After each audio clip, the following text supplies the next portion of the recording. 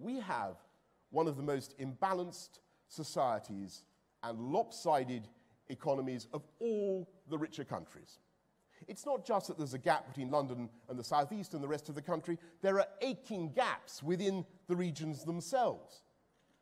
What monkey glands are they applying in Ribble Valley? What royal jelly are they eating